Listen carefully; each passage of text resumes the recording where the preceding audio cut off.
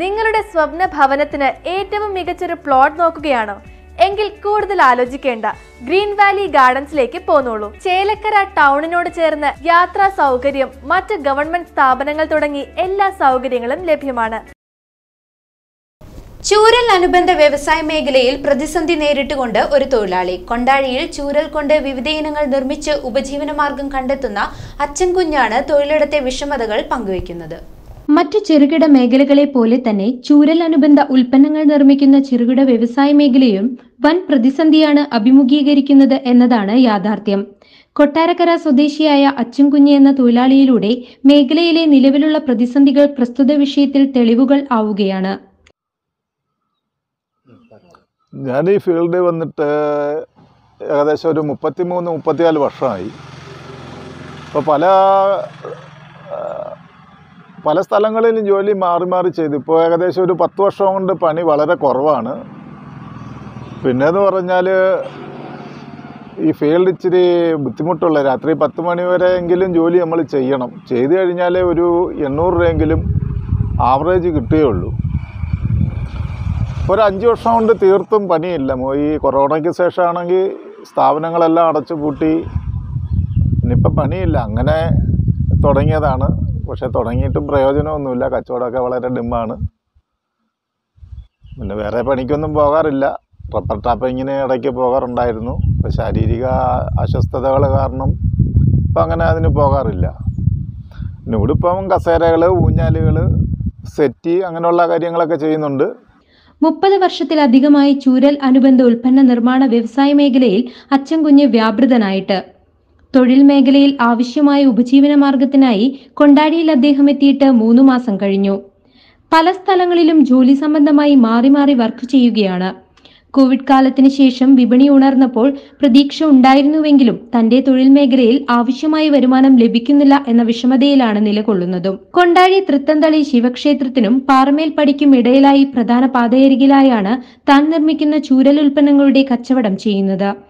കസേരകൾ ഊഞ്ഞാലുകൾ സെറ്റികൾ ടീപ്പോയുകൾ തുടങ്ങിയവയെല്ലാം നിർമ്മിച്ചു വരുന്നുണ്ട് ഒട്ടും കലാമൂല്യം നഷ്ടപ്പെടാതെ. ആസാമിൽ നിന്നും അസംസ്കൃത വസ്തുക്കൾ എത്തിച്ചേരുന്നുണ്ട്.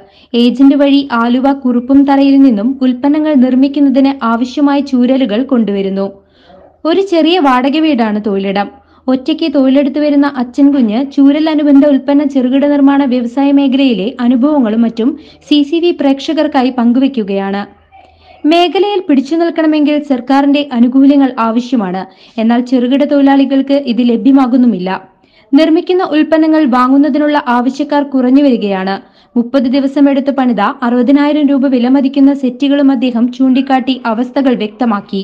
നമുക്കിത് കലാപരമായിട്ടൊക്കെ എന്തെങ്കിലും ചെയ്യണമെന്നൊരു വലിയ താല്പര്യത്തിലൊക്കെ ഇരിക്കുക ഈ ഫ്ലവർ സ്റ്റാൻഡ് കണക്കൊക്കെ അങ്ങനെ കുറച്ച് പണി ചെയ്തു വെച്ചിട്ടുണ്ട്. തുടർന്നത് മുന്നോട്ട് പോകാനുള്ള സാമ്പത്തിക ബുദ്ധിമുട്ടൊക്കെ ഉണ്ട്. എന്തെങ്കിലുമൊക്കെ കച്ചവടം ആയി കഴിഞ്ഞാൽ ഫ്ലവർ സ്റ്റാൻഡോ അങ്ങനെയുള്ള എന്തെങ്കിലും ചെറിയ ചെറിയ കാര്യങ്ങളൊക്കെ ഒരു കലാപരമായിട്ട് ചെയ്യണമെന്നുള്ള താല്പര്യത്തിൽ ഇങ്ങനെ ഇരിക്കുകയാണ്.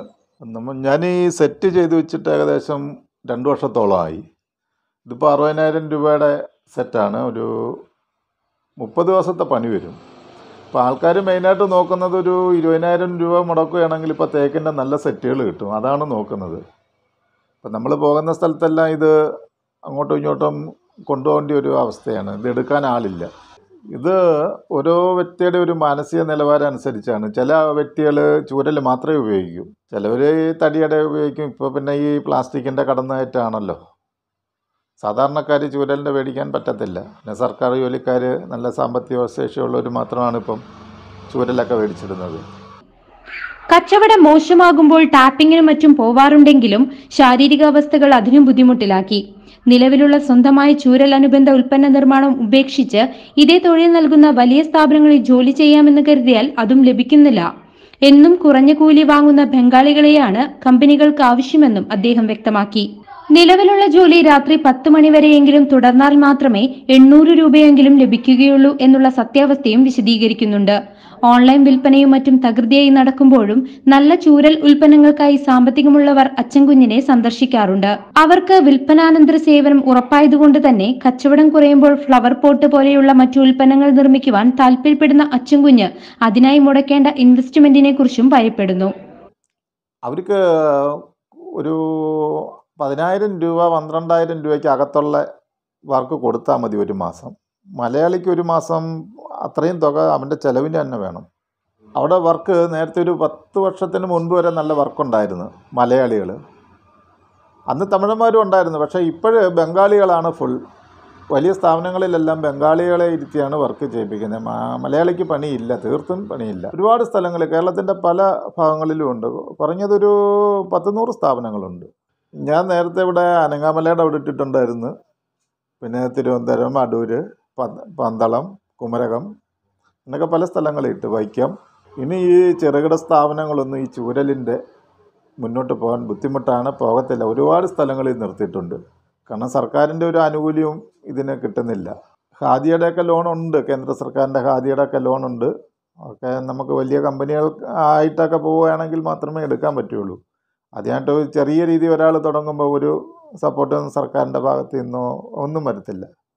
പ്രതിസന്ധികൾ അതിജീവിക്കുവാനാവും എന്ന ശുഭാപ്തി വിശ്വാസമുള്ള നല്ല ഒരു ദൈവഭക്തനും കൂടിയാണ് അച്ചൻകുഞ്ഞ്.